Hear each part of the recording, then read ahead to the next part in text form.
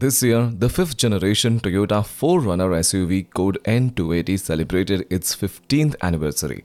Moreover, despite such a respectable age, it is still in excellent demand. 120,000 cars a year are sold in the main US market. And now the new 4Runner 6th generation is ready to hit the market.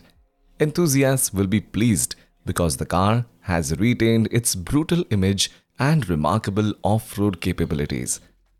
These SUVs share a common TNGA F-frame platform but are radically different from each other in design. In terms of design, the new 4Runner is directly related to the fourth generation Toyota Tacoma pickup truck that debuted last year. The development of the new Toyota Tacoma and Toyota 4Runner was carried out in parallel.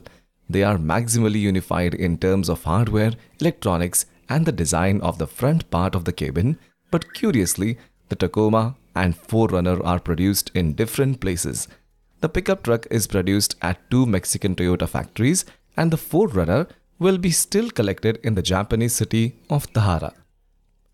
The new 4Runner has lost its naturally aspirated V6 engine.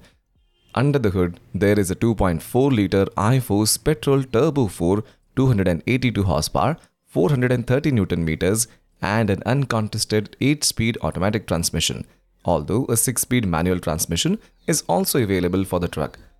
The alternative is the iForce Max hybrid powertrain, in which that 2.4 liter turbo engine is complemented by a 49 horsepower electric motor built into an 8 speed automatic transmission. Peak output of the system is 331 horsepower and 630 newton meters. Due to the low battery capacity, 1.87 kWh, recharging is not provided but the hybrid SUV is capable of towing trailers weighing up to 2721 kg. The 4Runner comes with part-time 4-wheel drive as well as full-time 4-wheel drive depending on the variant. However, all 4-wheel drive models do come with active traction control and a limited slip differential. There is also crawl control and electronic rear differential on some models, multi-terrain select and stabilizer disconnect as well.